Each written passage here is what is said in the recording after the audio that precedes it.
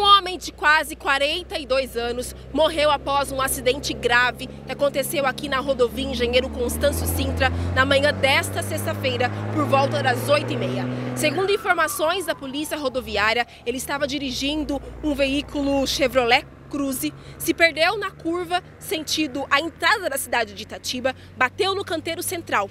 Quando ele bateu no canteiro, ele colidiu com um carro que estava vindo de Itatiba para Jundiaí.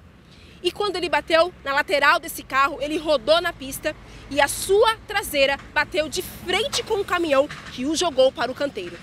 Segundo ainda informações da polícia rodoviária, este homem foi levado com vida até a Santa Casa de Itatiba, mas não resistiu aos ferimentos e morreu. Ainda segundo informações que nós colhemos aqui no local, quem prestou os primeiros atendimentos à vítima foi o resgate do corpo de bombeiros, mas também estiveram no local a perícia e a polícia rodoviária militar.